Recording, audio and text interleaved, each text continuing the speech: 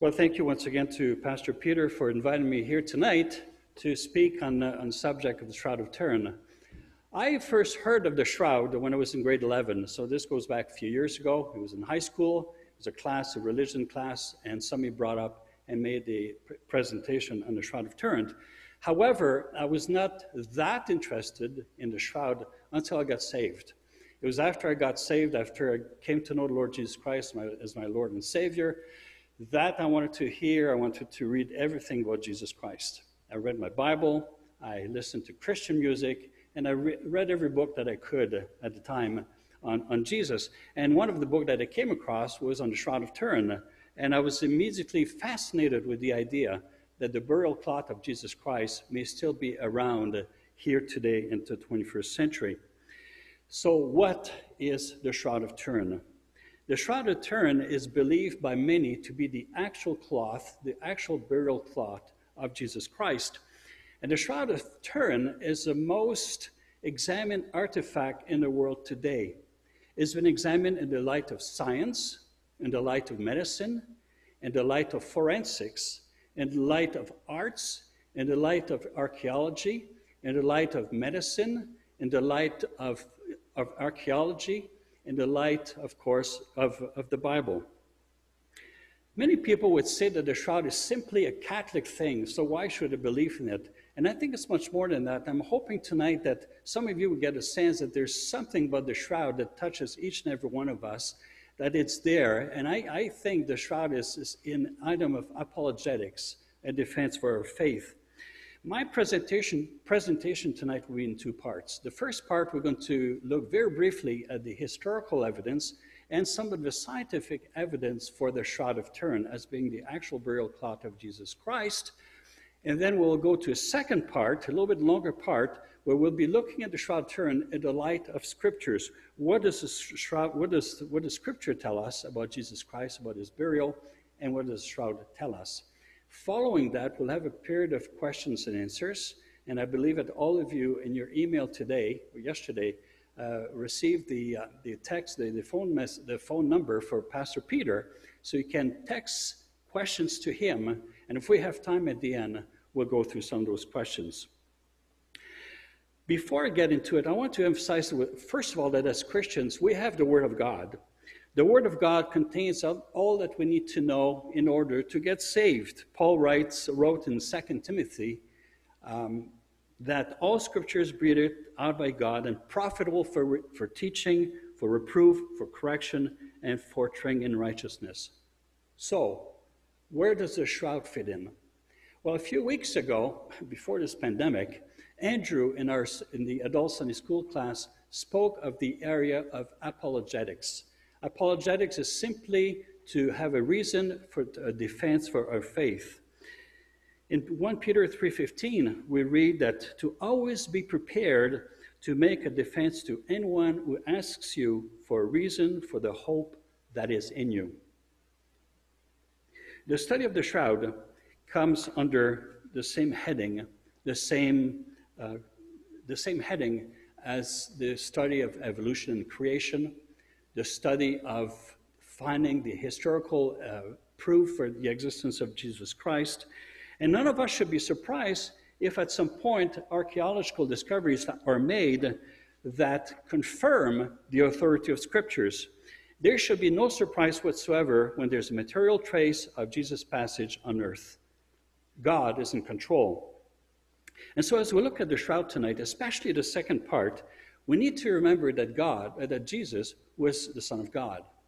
Jesus was also fully God, and he was also fully human. And so, as, as a human being, the pain that he endured at the cross, the pain that he endured on his way to the cross, the scourging, the crown of thorns, so on and so forth, these pains were very real. And so I call the Shroud of Turin a silent witness to the passion and resurrection of Jesus Christ. So, what is the Shroud of Turin? The Shroud of Turin is believed by many to be the actual burial cloth of Jesus Christ, as mentioned in Gospels. I'm going to read for you from Mark, Mark 15:46. It's also on the screen. This is from the ESV. And Joseph bought a linen shroud and taking him down, wrapped him in the linen shroud and laid him in the tomb that had been cut out of the rock. The shroud of the linen cloth is mentioned here in Mark, I believe, is the shroud of Turin. The Shroud of Turin is an ancient, piece, an ancient artifact, an ancient piece of linen cloth approximately 14 feet in length and about three and a half feet in, in width. The latest scientific research on the shroud suggests that the shroud is 2,000 years old. Now, you got to listen to me carefully for this next part.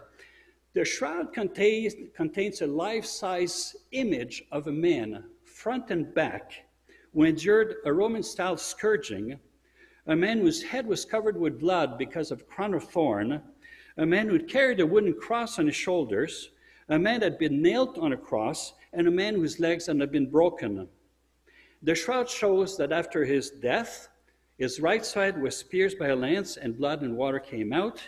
And now the shroud now shows a man who is in rigor mortis. All of that is found on the shroud. The source of the formation of the image in the shroud is unknown.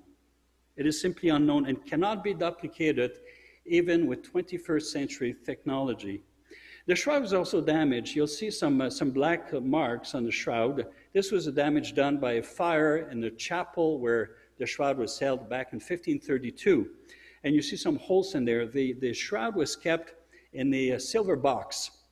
There's a fire in the, in, the, um, in the chapel. Part of the box melted, part of the silver box melted and cut right through the, uh, one corner of the shroud. And so when the shroud was, was opened up again, here were the, here were the holes that, was, that were done in one of the corner. So the holes were patched, the shroud was repaired, but this explains the damage yet you see on the shroud on, on this slide. The Shroud of Turin is called Turin, the Shroud of Turin, because it is, very simply, because it is kept in the city of Turin in Italy. It has been there since 1578. It was owned by the King of Italy uh, for, for over 500 years until nine, uh, 1983 when it was given to the Pope and to his successor. The Catholic Church, per se, has never owned the shroud. The shroud has been owned for the last 30 some years, uh, 38 years, by the Pope and to his successors, but not by the Church as a whole. And here's a very short history of the shroud. Of, course, the crucifixion took place, uh, historians believe, either in the year 30 or 33. And then somewhere in there, uh, after that, between the year 30 or 33 to the year 50, it made its way to a place called Edessa, which is called Urfa today in, in uh, Turkey. It then moved to Constantinople, today known as Istanbul, in 944. It was stolen during the Fourth Crusade in 1204 and reappeared in Lirey in France in 1356. It was moved to Chambéry, also in, also in France, in 1453, and it, to Turin in 1578. Now for the science behind the shroud. The first photos, photograph of the shroud was taken in 1898 by a person, by a lawyer called Secondo Pia.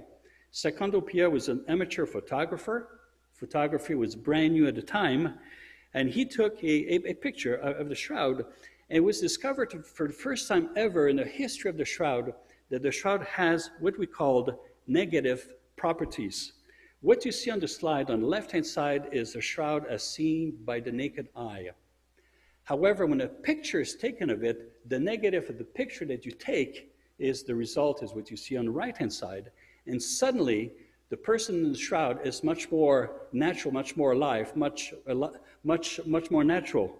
You're looking at, and, and, and yet, and so when you look at the picture of the shroud on the left-hand side, you're looking at what we call a, a, a, an image with negative properties. So when the highlights and shadows on cloth reverse, the man of the shroud appears much more lifelike and realistic. The second property of the shroud was discovered in 1976 is that the shroud, the image in the shroud contains what we call three-dimensional properties, 3D properties. Somehow, 3D properties are encoded into the image in the shroud and can be extracted using modern computers.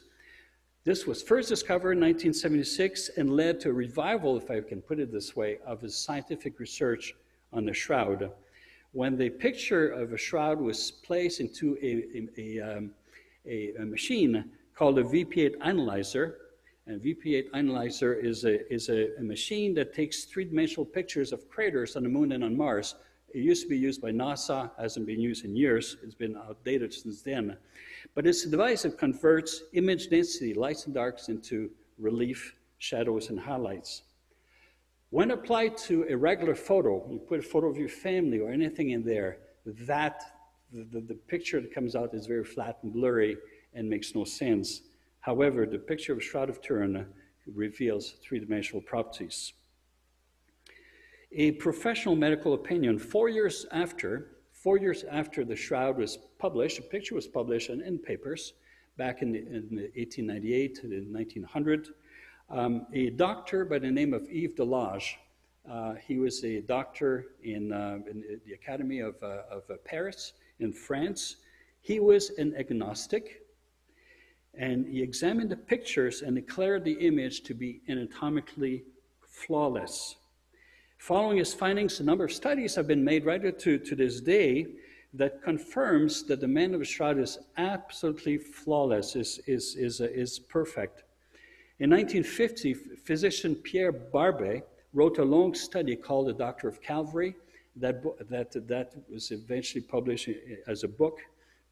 And he stated uh, he was a, he was a, uh, a, battlefield surgeon during World War I, and he stated that, that his experience as a surgeon during the war, where he saw violent death, led him to conclude that the image on the shroud was authentic, also anatomically correct, and, and, and consistent with crucifixion in a way that artists would have never known.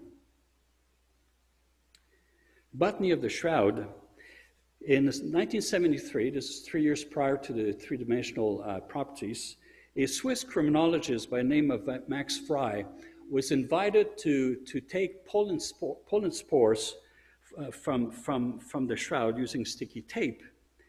And pollen spores that he found include 56 different plants that grow in, in 56 different plants on, on, on the shroud itself.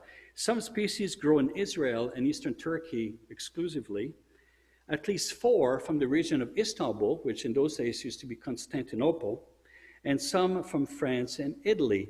So it tells us that the shroud had been in those locations at some point in its history. And then very faint images. I mentioned the image of a person in the shroud, but very faint images around the head of the, of, of the man in the shroud are images of flowers. They're hard to see, but they are there. And these flowers are identified by Israel botanist by the name of Avinoam Danin. He has confirmed that these flowers are from, in fact, some of them from the area of exclusively of Jerusalem and of the Dead Sea. And he confirmed that some of those flowers only bloom two months out of the year. These are flowers in full bloom in the shroud, only bloom two months out of the year. And you may have guessed it, they bloom in March and April. Scientific testing in 1978. 1978 was the first and only ever um, um, uh, examination, uh, full examination of the Shroud of Turin. There hasn't been a full one since then. It was the only one. A number of scientists spent 120 hours over a five-day period to study the shroud, and the mission statement was, how was the image formed? They were, the team was formed as a result of the negative properties of the shroud and three-dimensional properties. They were very interested to find out how was the image formed. And these are the findings done in 1978. It took three years of examining the raw data, and this was their conclusion at the end of it. It was published in 1981.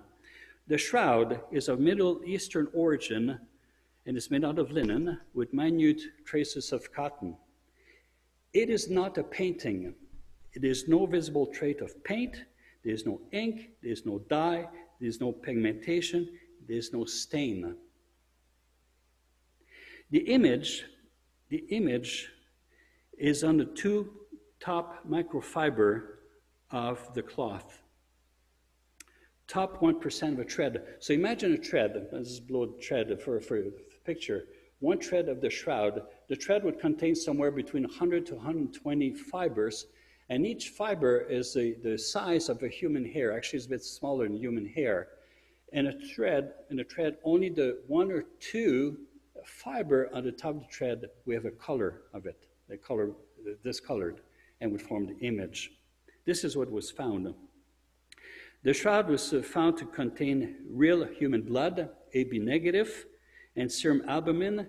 And though this, the, the picture only appears on top of the shroud, the serum albumin and the, and the, and the blood goes right through the cloth. Um, the AB negative is a, is a rare blood type.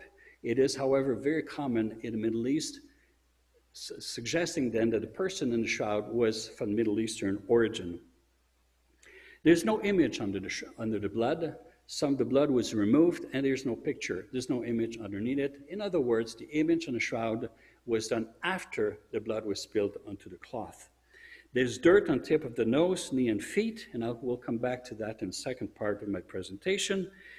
And there's a lack of blood clot break, and there's absolutely zero sign of decomposition. Dr. John Heller was part of the original team, and I put this slide on purpose. He was a biophysicist. He worked at the Institute of um, at the New England Institute in Connecticut. Dr. Heller was a Christian. He was a Southern Baptist. Heller was very skeptical of Shroud of Turin. He says, I can't be it. It has to be a fake. He just knew it was a fake. However, after spending countless hours examining the shroud in person and then the raw data afterwards, he became convinced that the Shroud of Turin is not only a relic, but it is an actual artifact of the resurrection. And the person in the shroud is more than likely Jesus Christ. In, in, 19, in, in 1988, all research up to that point, to 1988, pointed to the shroud as being the authentic shroud of Christ compelling evidence anyway. It was dated to the first century. Unfortunately, in 1988, uh, a radiocarbon test was performed in the shroud, which dated the shroud to the, fourth, to the, to the 13th or 14th century. This, this, the shroud was then declared as a fraud, and some people my generation older will remember that every magazine, the Newsweek and Time magazine, all magazines, it was front page paper that the shroud was a fake. That was done 30 years ago, 1988. But thankfully, over the last 30 years, and especially over the last 10 years, a lot of research has been done, and it was found that the tests from 1988 were, were wrong, were, uh, were false. Just as a one point, very simply, a wrong part of the shroud was, was, was tested. So the shroud, the, the, the part of the shroud was tested, it was correct. It was in the 14th century, but it was part of the shroud that had been repaired.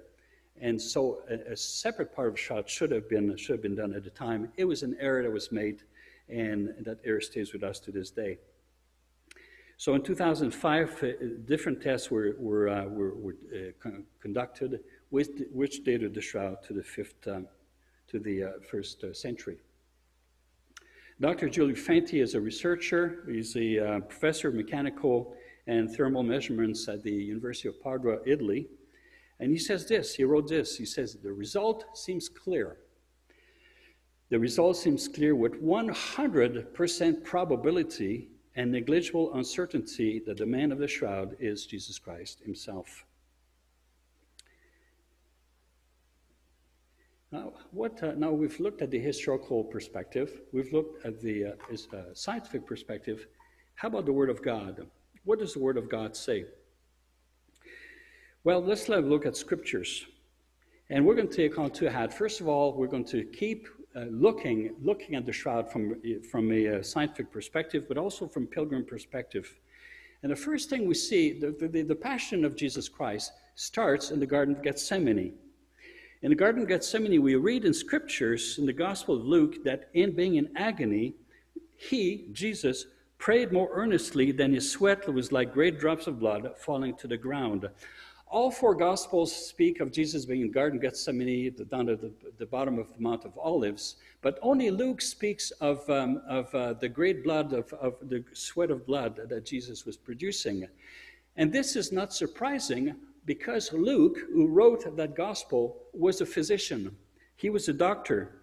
And as such, he, he, he mentioned, he spoke of an actual medical condition that still exists, still exists today, and it's called, it's a rare condition called hematidrosis.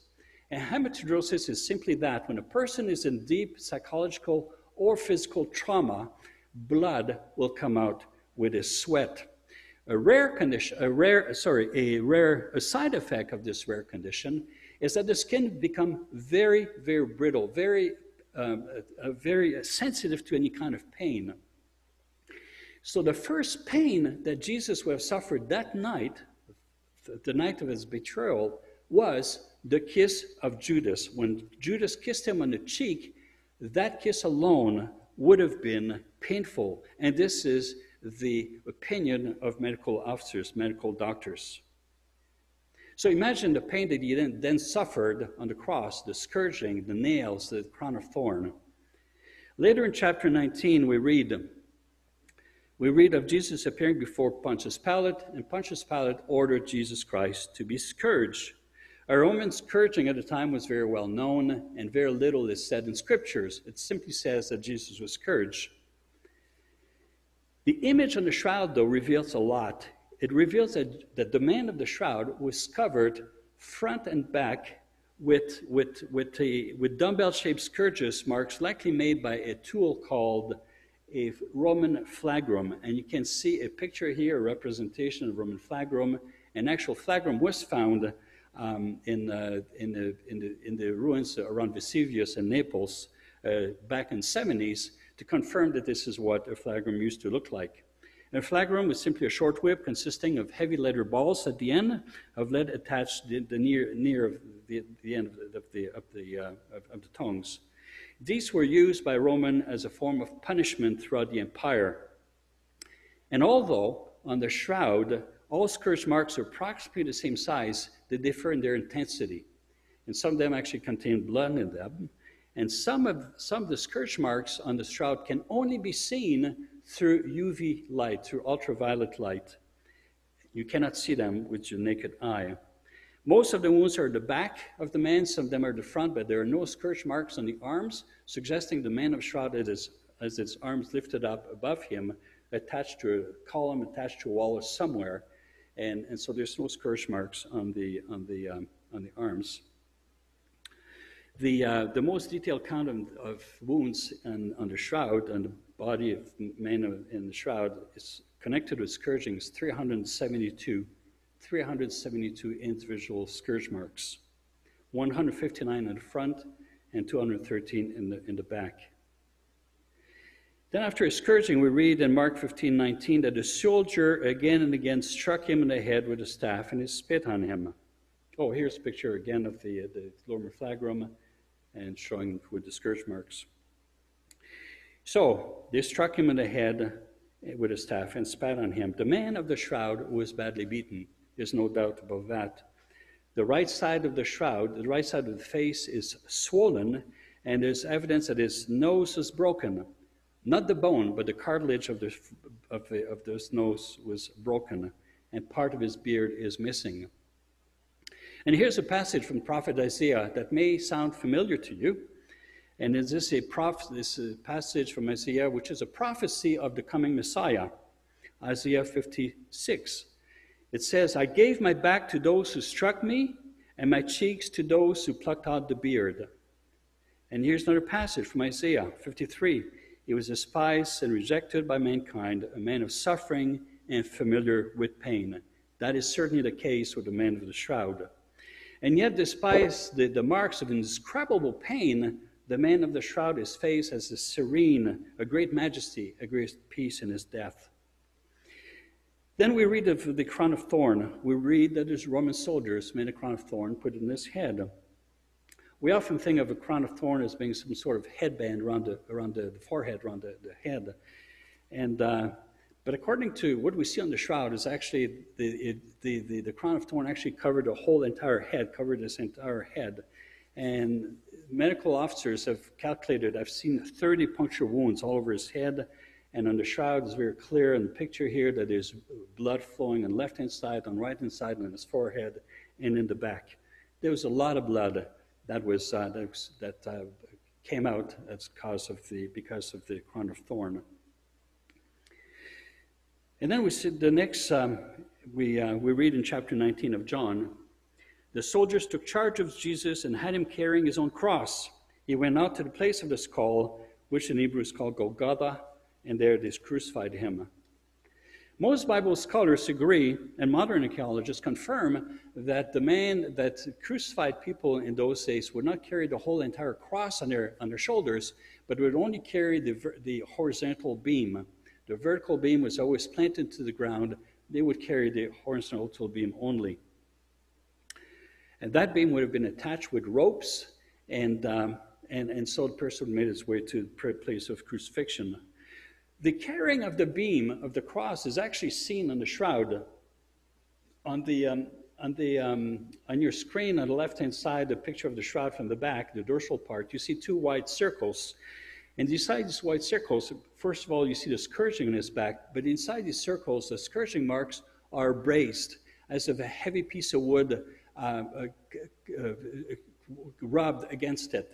And so the scourge marks are very are, are, blurred because of piece of wood. And this is confirmation that the person carried a heavy piece of wood on his shoulder. As well, because the person in the shroud who become crucified people have their hands tied with ropes to the to the vertical part, to the horizontal part, if they fell, they could not help themselves. They couldn't prevent the fall with their hands, and it would fall flat on their face. It is believed this is it was at that point that Jesus broke his that Jesus, that the man of the shroud, broke his nose. I mentioned earlier that uh, back in 1978, a, a, a, rare time of limestone was found in the shroud. The limestone is found on the nose, on the on the knees, and on the feet. And that kind of limestone is called travertine aragonite.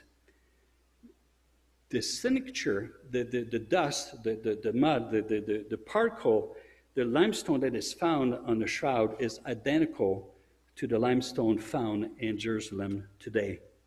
In other words, the man of shroud was crucified in Jerusalem.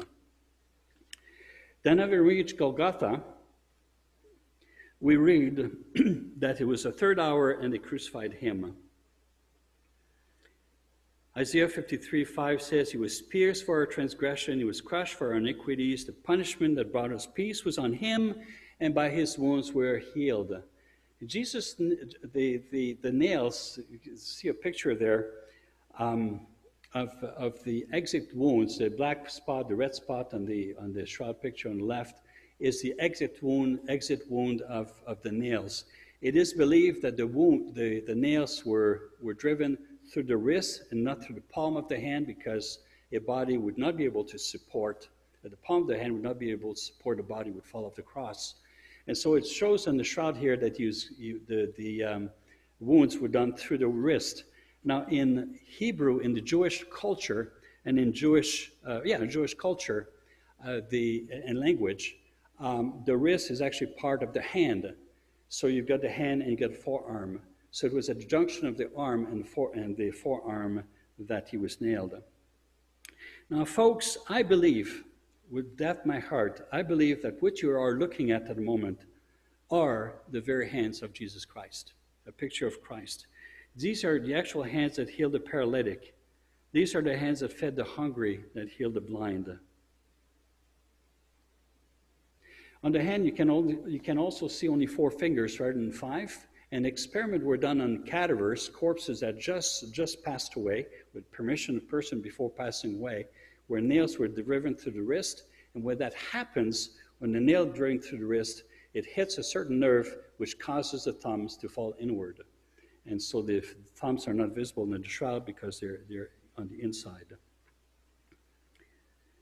And then you see the, the feet, uh, where the uh, shroud researchers believe that Jesus' feet were one on top of each other. And you can see very, very clearly here the left foot has very little blood, but it's right foot that has most blood with when, when it was applied against the, the, uh, the cross.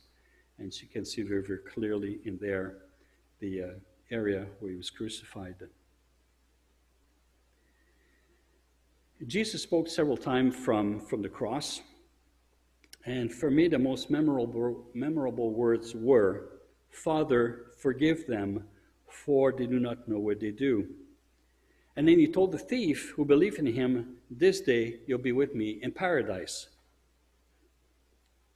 His last words were found in John chapter 19, verse 30, and his words were, It is finished. My mother tongue is French. I'm from Europe originally. And in French, the translated, that verse is translated as, It is accomplished. It is accomplished. It is finished. The face of the man of the shroud is not that of a, of, the, of a tortured face of an angry criminal. It is a face which is serene. The man of the shroud, I believe, whom I believe is Jesus, had accomplished what he wanted to accomplish, and he died in peace. In scriptures, we read that Jesus accomplished the will of his Father on the cross. He died to reconcile the world uh, to himself.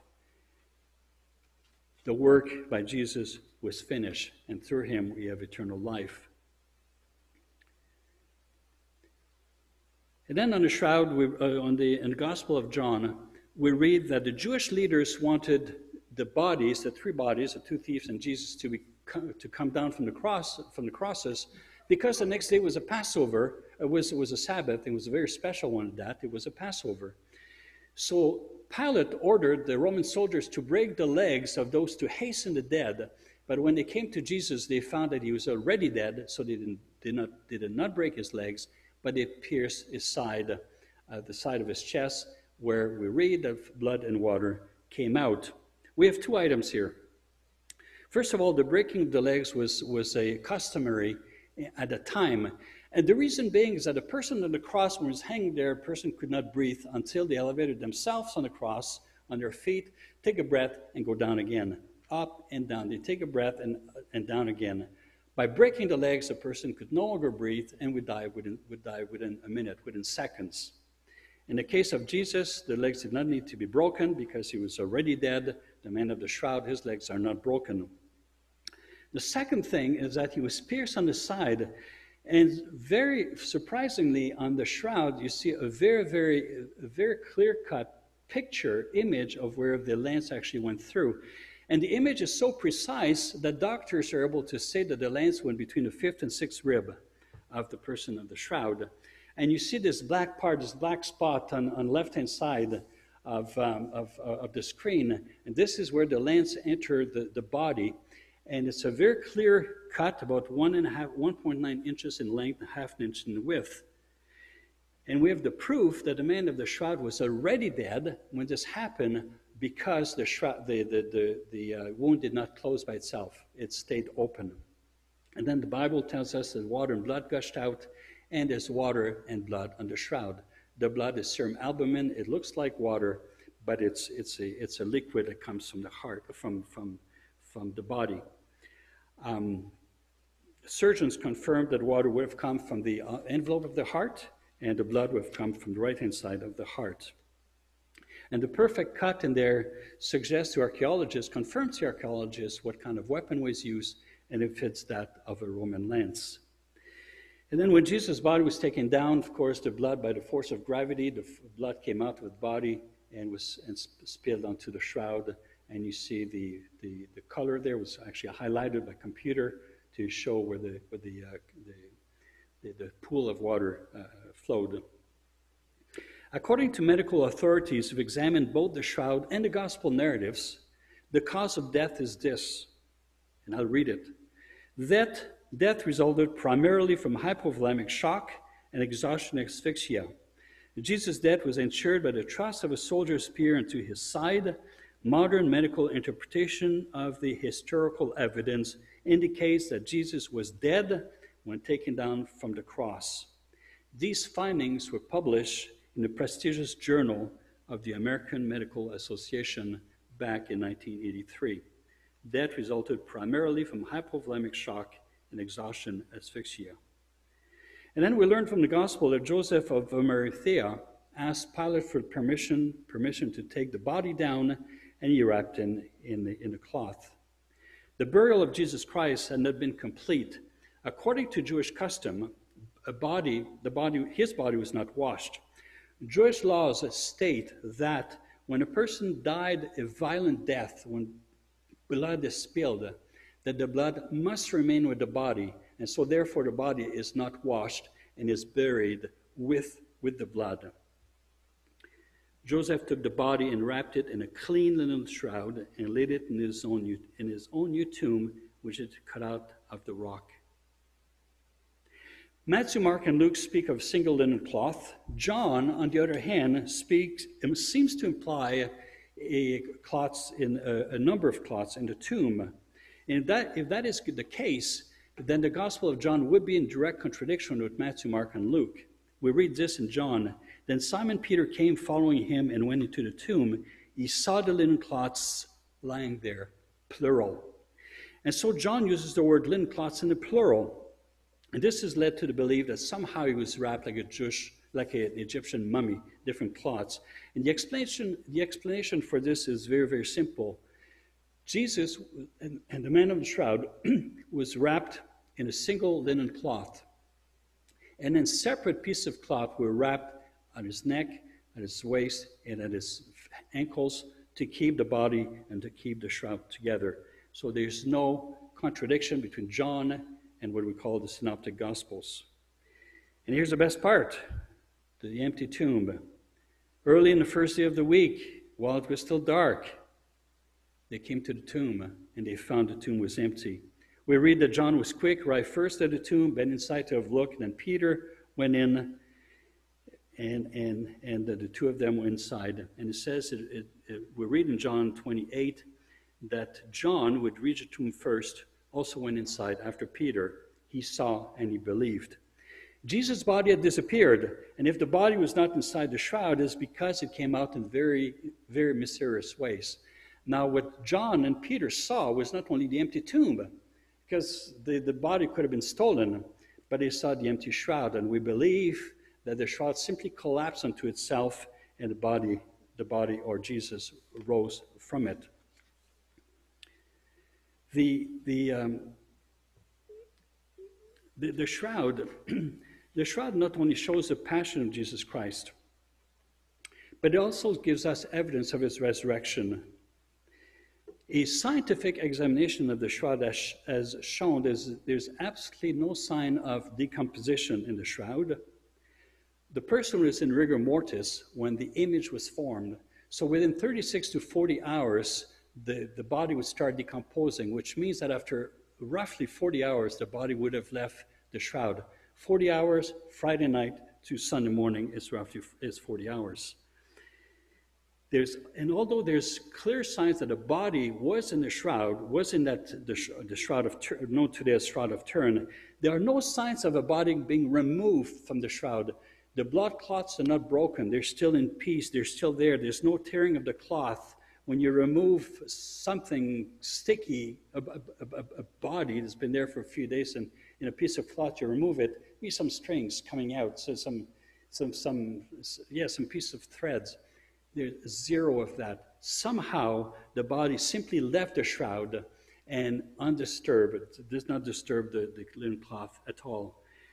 There's, there's um, it seemed like the body in the shroud simply disappeared in a way that science cannot repeat. Science is unable to explain. The only explanation for that is beyond the realm of science, and the reason it is is because it cannot be observed, cannot be repeated again. And the very best explanation for this is simply that burst of energy within, within the tomb, within the shroud, within the body. Uh, there's a burst of energy that occurred, raising Jesus from the dead and leaving an image on the cloth. The cloth, and with an image not made by man, is a material witness of the suffering death of our Lord. And I believe it is a silent witness, a silent witness of Jesus' power, victory over the devil. And I believe that when we see the shroud, when we see a picture of the shroud, we see Jesus Christ himself and we see the very face of God. Remember, Paul tells us, Colossians, that the Son, Jesus, the Son is the image of the invisible God, the firstborn over all creation. He is the beginning and the firstborn among the dead, so that in everything he might have the supremacy. The shroud, I believe, is a truly a silent witness of Jesus Christ.